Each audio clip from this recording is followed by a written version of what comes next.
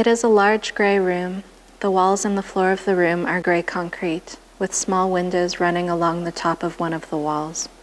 A diffuse gray light seeps in from these windows and floats above the space, illuminating shiny sections of a ventilation shaft and a network of PVC pipes.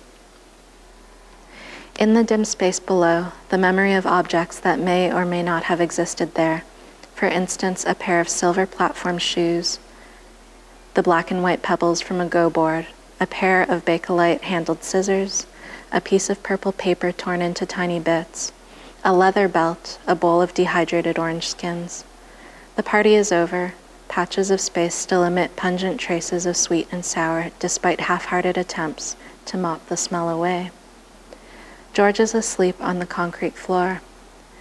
Someone has covered him with a heavy rug, and there's purple lipstick on his mouth and teeth. George wakes up to the memory of being surrounded by others. It is very quiet both inside and outside of the room. He lies there for a long time, not entirely sure of what to do, then tries to call a friend. There is a voice heard through his phone. The friend sounds far away. George summons the face of his friend, their particular gait and posture, the thickness and weight of their body, their apartment, kitchen, bed, the objects held within these spaces. He concentrates really, really hard to find a picture that he can hold on to. There once was a girl, her name was Krista. Krista lived not in an apartment, but in a van that she converted into a bedroom where she enjoyed reading hunting magazines and books about plants. George used to have long conversations with Krista about basketball inside that van, and also George once met Krista's mother, who taught him how to open a walnut with your bare hands. Krista, if that is indeed your real name, Krista, answer your phone. Krista's hair was the color of straw, and it went down to her chin. The color of straw, the shape of her chin. George wakes up and finds that he's in a room. He vaguely tests the state that he is in. George exits the warehouse, and the alien is there. Smoke hangs between the border of their two universes. The atmosphere glows from a diffused and directionless hazy brightness. Hazy silhouettes circulate behind the smoke. Some of the silhouettes look structural, some of the structures look like they are moving.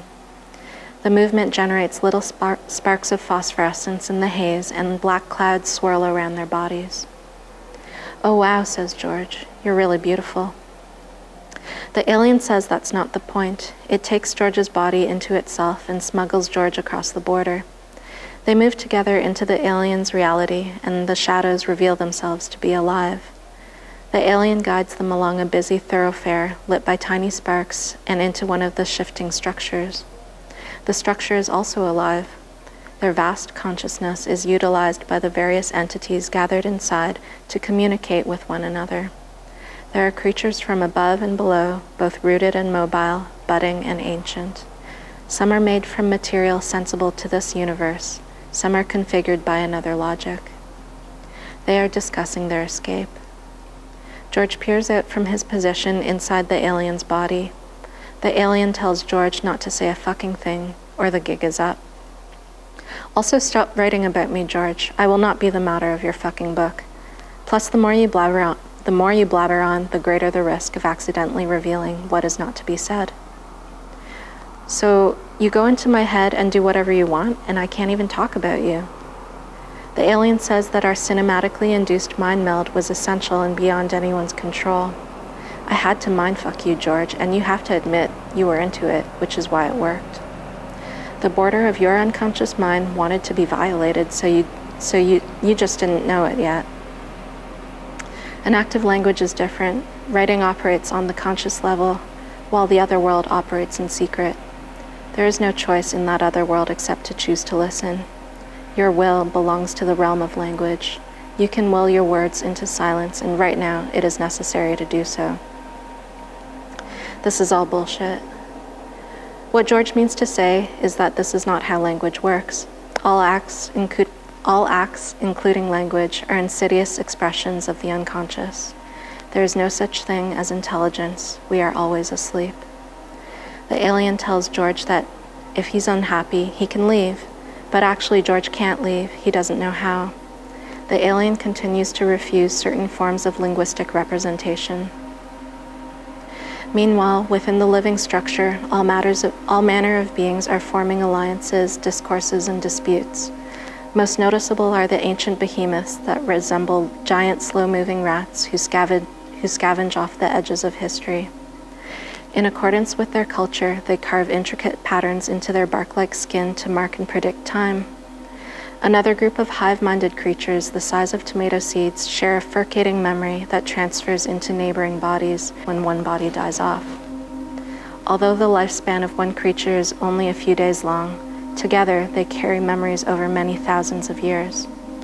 Several attendees have ugly looking collars permanently fused into their systems vestiges of enslaved labor in the atmospheric mines. This insidious technology taps into the wearer's resp- respiratory system, transforming their body into a filter that manufactures clean air for the rich. Now, having escaped the mines, many wear their collars with abject pride, painting and adorning the spiky bands so that they resemble treacherous gleaming jewels. The, enti- the entity in which they are housed groans slightly as their massive hulk moves through the smoke from unknown fires. The alien teaches George how to breathe in time with the entity and thus tap into the conversation facilitated by the creature's metabolism. With each breath, more sensations, thoughts, and feelings travel towards George and clarify themselves within him. Peering into the cavernous body of their host, a network of exchanges becomes apparent to George. Numerous unique and attenuated dialogues develop simultaneously, with each speaker holistically aware that they are taking part in a singular, ongoing conversation. They listen as a whole. The camaraderie of this exceptional gathering is marred by an overriding sense of paranoia. Sometimes the tension in the network feels like a couple of hostile gangs mustering ener- energy for a barroom fight. Sometimes like a camera leaning in to peer with an intruding eye over a turned shoulder. An uneasy truce exists for the sake of the greater cause, but inevitably the pressure intensifies. The gathered entities unwittingly begin to respire at a faster pace. Their air sacs are filled with the scent of burning soil. The air shifts as their breaths synchronize while quickening at an ever increasing rate. The living structure begins to spin, slowly at first, then picking up speed until the centrifugal force pushes all the gathered bodies to the edge of the space that is also the, bo- the body of the giant organism. Wrapped inside his alien lover, George's twirling mind borders upon a feeling of intoxication. The alien holds George very close to itself. Their twinning thoughts and forms slip in and out of phase with one another until they appear as a vibrating holograph.